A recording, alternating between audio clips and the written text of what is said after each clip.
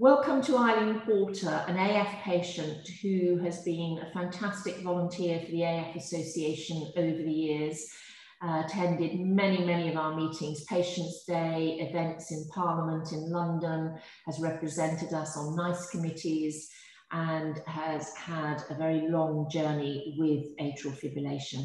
And Eileen has uh, kindly agreed today to share some of her experiences. So Eileen, thank you as always for all the support you give us.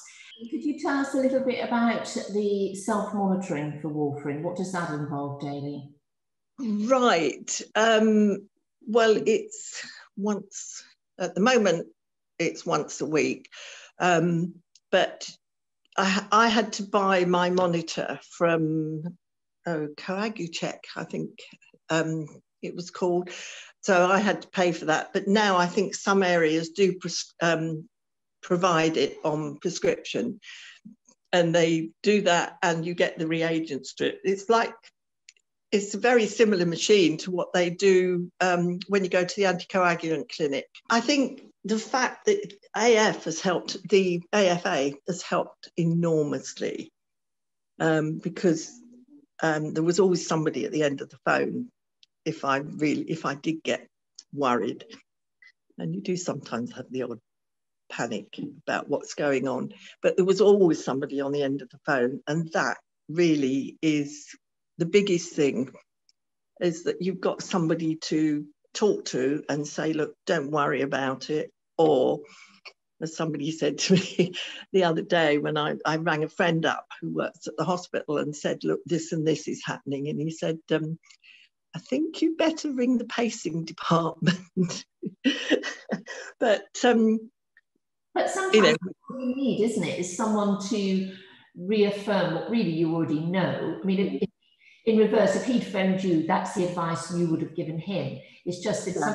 it's yourself, you you can't see the wood for the trees. And I think no, you you're trying to protect other people too, and not let them know how worried or how ill you're feeling. So you put on the brave say, I mean, I've got a daughter I don't see very often because she's nursing and COVID at the moment, and a husband who worries has virtually kept me under lock and key since COVID's come in. So you you you keep the the smile on there because you don't want to frighten them anymore. Um, so, but apart from that, what's the point in looking on, on the black side? I mean, you never know what life is going to throw at you. As I say, and I find as long as I've got somebody that I can either confirm what I'm thinking or make other suggestions, just somebody you can talk to that understands or at least knows what you're going um, going through or could through. I think that's what's kept me going a lot of the time. Um, well, I'm glad the AF Association has and will always be here for you, Eileen.